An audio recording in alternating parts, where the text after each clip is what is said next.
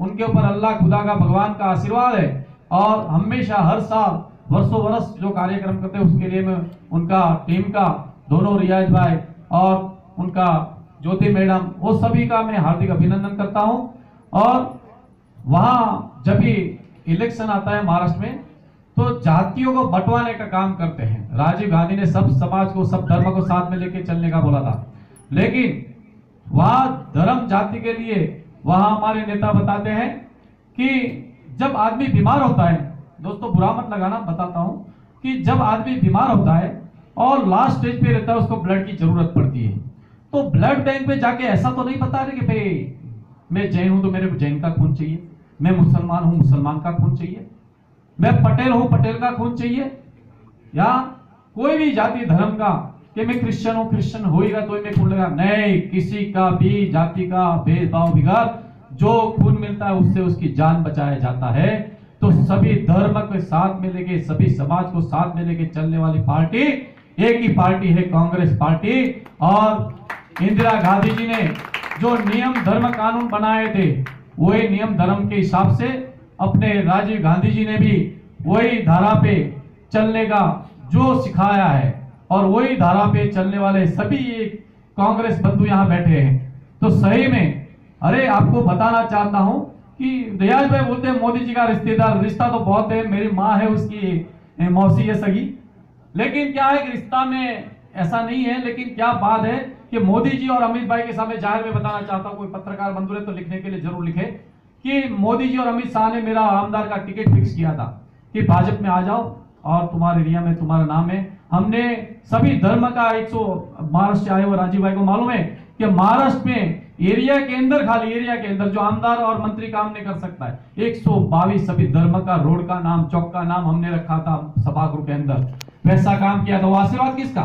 इंदिरा गांधी का, सोनिया गांधी का और राहुल गांधी जी का और हमारे एरिया के नेता जो मुजफ्फर हुसैन साहब है, उनका आशीर्वाद। और महाराष्ट्र में और दिल्ली में जो बैठे हैं वो नेताजी, उनके सभी के आशीर्वाद से इस काम होता है। वो काम किसने सिखाया? हम तो एक छोटा सा इंसान है।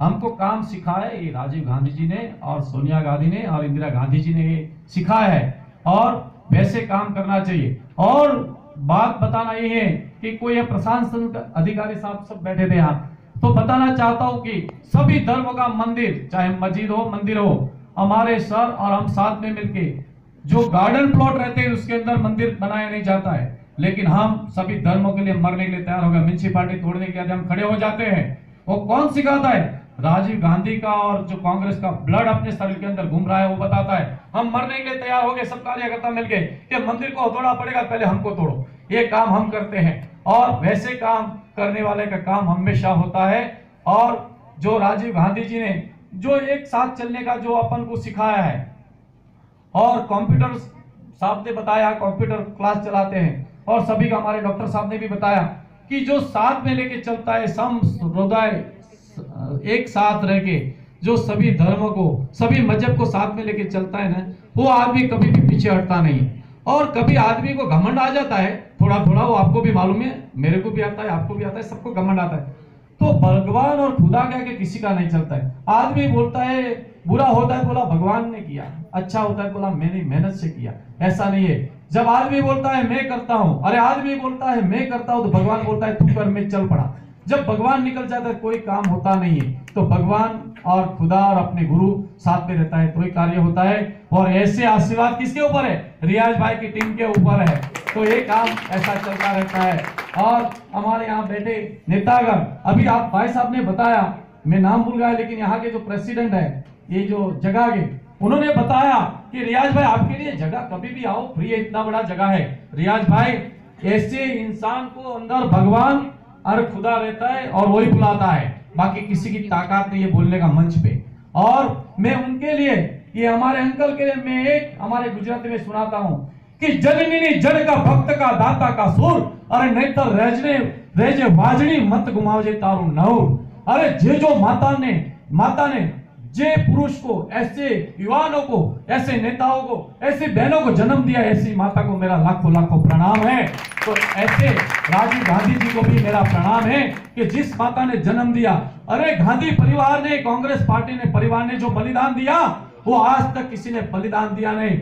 चाहे आरएसएस हो भाजपा वाला हो, कोई भी हो, लेकिन किसी ने बलिदान नहीं दिया। जो बलिदान देने वाली एक ही पार्टी, कांग्रेस पार्टी है, वो भी गांधी परिवार है। और कांग्रेस का कार्यकर्ता हमेशा मरने के लिए तैयार होता है। कोई भी छोटा छोटा काम के लिए महानगर पालिका के अंदर, विधानसभा के अंदर भी वो धरना लेके मरने के लिए तैयार हो जाता है। अरे मरने का एक बार है, फिर अपना काम क्यों नहीं करे अधिकारी? और उसके सामने जाकर बैठ जाने का। एक काम होना ही चाहिए, क्यों नहीं होएगा काम? अरे, जो आदमी जो अपने में क्या होते हैं? काले बाल वाला आदमी कुछ भी कर सकता है। तो ऐसे ताकत रखेगा आदमी तो ज़रूर उसका काम होता है। अरे, अपनी महिलाओं में तो ताकत रखनी चाहिए। अपना लीडर कौन? सोनिया गांधी जी है। इंदिरा गांधी थी तो महिलाओं को तो ऐसी ताकत मिली है। वो देवी शक्ति है। और देवी शक्ति को, महिला में देवी शक्ति बहुत रहती है। वो बोल, चुप रहते तब तक चुप रहते हैं। बाद में जो गर्म होते हैं ना, किसी के नहीं रहते। हाँ शाम को खाना भी नहीं मिलेगा। तो ऐसा है तो देवी शक्ति है तो देवियों को तो अपन कैसे भूल सकते हैं? तो देवी शक्ति को भी अपन याद करते हैं। और जो मेरा आमदार का टिकट फिक्स किया था, और ये राजू भाई है यहाँ बैठे, आमदार की टिकट फिक्स किया, बोला, भाई, मेरे को आमदारी नहीं चाहिए, मैं कांग्रेस पार्टी में ठीक हूँ। तो भी हमने लीडर को पूछा, बोला, देख, तू तो कांग्रेस का कार्य करता है, कांग्रेस के माध्यम से काम करेगा ना, शहर का विकास होगा ना, लेकिन आप बोलते हैं ना, कांग्रेस के भ्रष्टाचार है अरे भाजपा में डबल भ्रष्टाचार है आमदार की टिकट का साढ़े सात करोड़ रुपया मेरे सामने गिनती करके दिया था बोला, ओसी पार्टी में मेरे को नहीं जाने के चाहिए कि जो पैसा लेके टिकट बांट रहा है, ऐसी पार्टी में नहीं जाना चाहिए। अरे आप, हमारे रिश्तेदार मोदी जी है, मोदी मोदी करते हैं, लेकिन मोदी जी है, वो कैसे हमारे रिश्तेदार ज़रूर है। लेकिन बोला अरे तुम्हारे रिश्तेदार है, वो भाजपा में और तुम कांग्रेस में, कुछ समझ में नहीं आता है। भाई, वो 12 साल से, मैं 25 साल से कांग्रेस का कार्य करता हूँ और महाराष्ट्र के अंदर काम कर रहा हूँ, राजू भाई आपको मालूम है, और हमारे आमदार मुजफ्फर साहब पूरा महाराष्ट्र में कहा भी मीटिंग लगती है ना तो बोलते हुए भाजपा के पास मोदी है तो हमारे एक मोदी काफ़ी है। जैसा रियाज भाई ने इधर नाम रख दिया हमने उसको बोला नहीं था हमारा नाम रखो। लेकिन ये भगवान खुदा उसके हृदय में अंदर बैठ के बुलाता है कि महाराष्ट्र में भी बोलते हैं कि मोदी हमारे पास है। गुजरात में जब सीएम थे ना तभी बोलते थे कि गुजरात में मोदी है तो हमारे पास भी मोदी है। अरे गुजरात का विकास तो राजीव गांधी जी ने जो प्लान बनाया था साठ साल पहले पचास साल पहले इंदिरा गांधी ने बनाया था, जो प्लान के मुताबिक चिमन भाई पटेल थे कांग्रेस के सीएम उन्होंने जो प्लान बना था, उस हिसाब से ही सब कार्य चलता रहता है, रोड का विकास। अरे, गंगा की आरती उतारे, भाई साहब अल्लाह पाक की कोई तो ध्यान रखना। गंगा की आरती उतारे, टीवी में बार बार आता है पीएम ने आरती उतारी, गंगा जी का दर्शन बताते हैं। गंगा जी सजूर अपनी माता है, आरती उतारना चाहिए, लेकिन बार बार टीवी में आज भी कभी कभी बताते हैं। लेकिन महाराष्ट्र के अंदर कांग्रेस पार्टी ने इंदिरा गांधी ने, राजीव गांधी ने जो प्लान रखा था, सीलिंग रोड, आज 20-25 किलोमीटर दरिया के अंदर जो ब्रिज बना ना, एक बार भी टीवी में नहीं आया। क्यों? कांग्रेस पार्टी वोट देने में नहीं मानती है। काम में विश्वास करती है। बराबर, मैडम? काम में विश्वास करती है। तो एक बार भी टीवी में नहीं था। अरे, आरती उतारी टीवी में देने से, अरे, भगवान की भक्ति तो करो तो लेके, घर में बैठ के करना चाहिए ऐसे टीवी में मीडिया में भक्ति करने से क्या फ़ायदा? हाँ?